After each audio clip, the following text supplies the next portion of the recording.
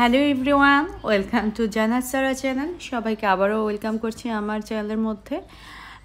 আজকে আপনাদেরকে আমি একটা রেসিপি দেখাবো, সেটা হচ্ছে এটা লাউ পাতা দিয়ে চাপা শুটকির একটা রেসিপি এটা হচ্ছে ময়মনসিংহের খুবই জনপ্রিয় একটা খাবার।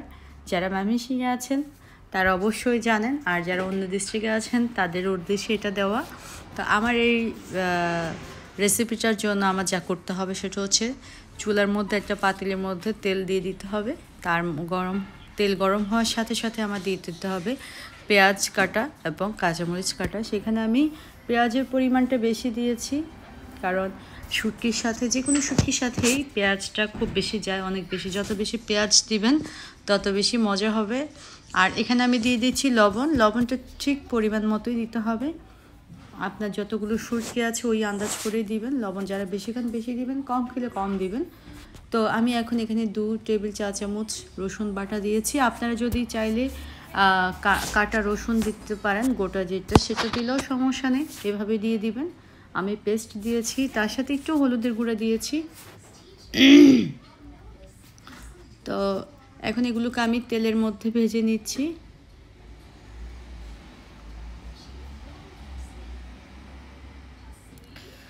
একটু লাল হওয়ার জন্য ওয়েট করছি।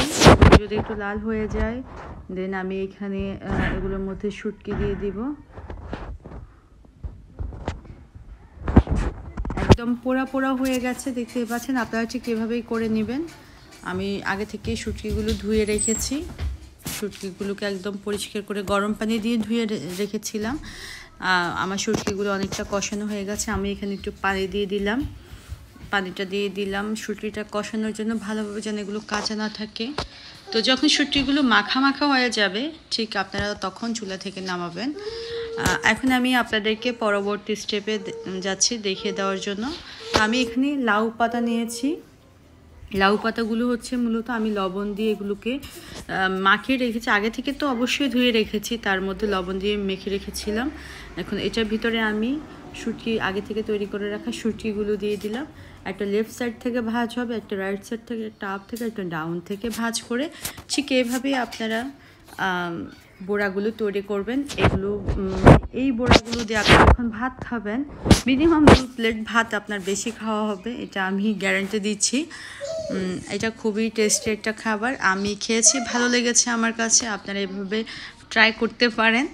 তো যারা আমার চ্যানেলকে সাবস্ক্রাইব করেছেন, সবাইকে অসংখ্য ধন্যবাদ। যারা এখন পর্যন্ত করেনি প্লিজ সাবস্ক্রাইব মাই চ্যানেল এবং এবং অবশ্যই আমাকে আপনারা জানাবেন আপনাদের কেমন লাগছে। কোনো কমেন্টস যদি ইচ্ছা হয় আপনারা করবেন শেয়ার মন করবেন। তো যেটা এখন আমি করছি, আরেকটা করে বসিয়ে দিলাম। হালকা একটু তেল দিয়ে দিচ্ছি, কারণ এগুলোকে, বড়াগুলোকে এখন ভাজতে হবে। তো তেল দিয়ে দিলাম। তেলটা গরম হওয়ার জন্য ওয়েট করছি। আর চারিদিকে তেলটাকে একদম ছড়িয়ে দিচ্ছি যেন সবগুলো বড়া ভাজানো যায়। তা আমি এখন এখানে দেখতে পাচ্ছেন তেলগুলো অনেক গরম হয়েছে। আমি এখন সেই আগে থেকে তৈরি করে রাখা বড়াগুলো এখানে দিয়ে দিচ্ছি। এগুলো হলেই ভাজা হয়ে গেলে ভাজাটা যেন হয়। কারণ আমরা যেহেতু শাক দিয়েছি, শাকগুলো হতে হবে। এগুলো তো আর ফেলে দেওয়া যাবে না। আমরা শাক সহকারে খাই।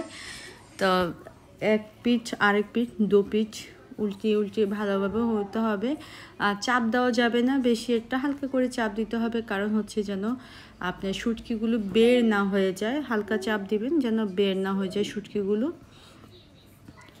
তো আসলে অনেক দিন আমি চ্যানেলের সাথে নেই, কারণ খুব বেশি ভিডিও বানানো হয় না। মাঝে মাঝে এখন ট্রাই করছি, একটু রেগুলার হওয়ার জন্য। আমি রেগুলার হয়ে গিয়েছি একটু।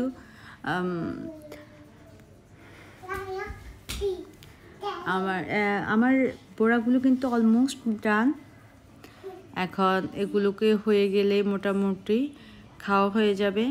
আপনারা এইভাবে ট্রাই করতে পারেন। এইভাবে দেখেন আমার সুটকিগুলো কিন্তু হয়ে গেছে।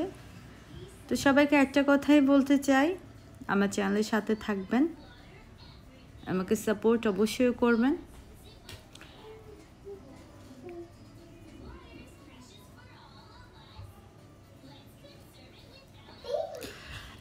সুটিগুলোর যেন ভিতরেও হয়, দেখতে পাচ্ছেন, একটা ভাব বের হচ্ছে।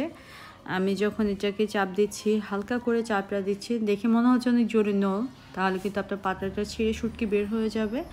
তো অনেকটা হয়ে গেছে, এরকম পোড়া পোড়া যখন একটা ভাব আসবে আপনার এই বোড়াগুলো, তখনই আপনি ভাবতে হবে যে এখনও কিন্তু হয়নি, আর একটু হবে, লাল লাল হয়ে যাবে, তখন আপনার এই বোড়াগুলো হয়ে যাবে। এ পিঠ, ও পিঠ, দু পিঠে আপনার এইভাবে উল্টে দিতে হবে। তো সবাই কি ভালো থাকবেন? আল্লাহ হাফেজ।